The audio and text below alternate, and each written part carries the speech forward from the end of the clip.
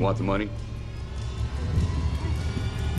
Go get it. Sylvester Stallone's The Expendables fought off an onslaught of newcomers to finish on top at the box office again.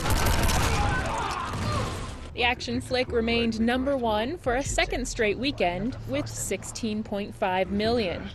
Directed by and starring Stallone, the story follows mercenaries trying to overthrow a dictator.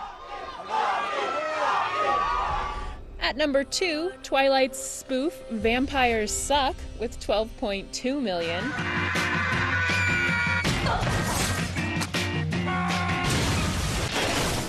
The movie mocks the blockbuster franchise with a parody about a moody schoolgirl in a love triangle with a vampire and a werewolf.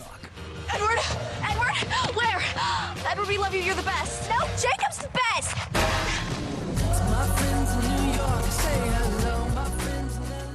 Julia Roberts' drama Eat, Pray, Love, about a divorced woman traveling the world in search of fulfillment, pulled in 12 million over the weekend, securing its spot at number three.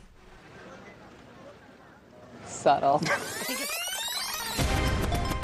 See, I was just an ordinary guy. And finally, in fourth place, the comedy Lottery Ticket, featuring rapper Bow Wow as a young man besieged by neighbors after he wins a $370 million jackpot.